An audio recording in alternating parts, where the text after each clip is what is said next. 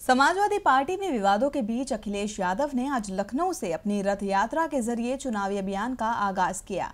उनके रथ को सपा सुप्रीमो मुलायम सिंह यादव और शिवपाल ने हरी झंडी दिखाकर रवाना किया। हालाँकि रथ में तब्दील की गई। हाईटेक मर्सिडीज बस मुश्किल से एक किलोमीटर चलने के बाद खराब होकर रुक गई। इससे पहले अखिलेश के इस कार्यक्रम में काफ़ी चौंकाने वाली तस्वीरें देखने को मिली, जैसा कि कयास लगाए जा रहे थे कि चाचा शिवपाल यादव अखिलेश की इस रथ यात्रा में शामिल नहीं होंगे। इसके उलट शिवपाल यादव न सिर्फ़ वहाँ पहुँचे, बल्कि अखिलेश को शुभकामनाएँ भी दी। वहीं रथ यात्रा से पहले सभा को संबोधित करते हुए अखिलेश यादव ने कहा कि यूपी का चुनाव देश की दिशा तय करेगा और यह सरकार दोबारा लाने का समय है। अखिलेश यादव ने कहा कि उत्तर प्रदेश की जनता एक बार फिर से इतिहास दोहराएगी। यूपी का चुनाव देश की राजनीति बदलने का है। देश किन के हाथों में है, सोचना पड़ेगा। समाजवादी विचारधारा को और बढ़ाना है। इस दौरान अखिलेश ने अपनी पार्टी की उपलब्धियाँ भी जनता के सामने रखी।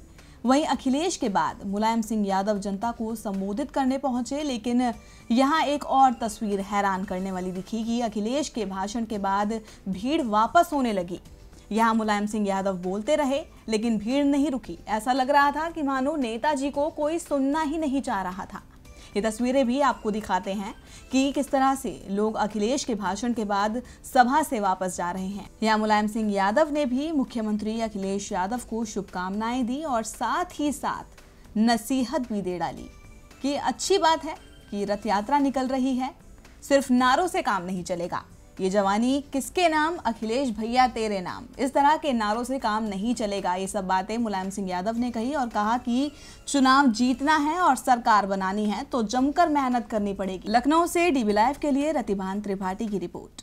तो परिवार में जारी झगड़े के बीच आज से अखिलेश यादव ने चुनावी बिगुल फूक दिया है। फ़िलहाल समाजवादी पार्टी में सब कुछ ठीक नज़र आ रहा है और अब सभी चुनावी अभियान को सफल बनाने में जुटे हैं। रथ यात्रा के बाद अब सबकी निगाहें पाँच नवंबर को होने वाली रजत जयंती समारोह पर टिकी है।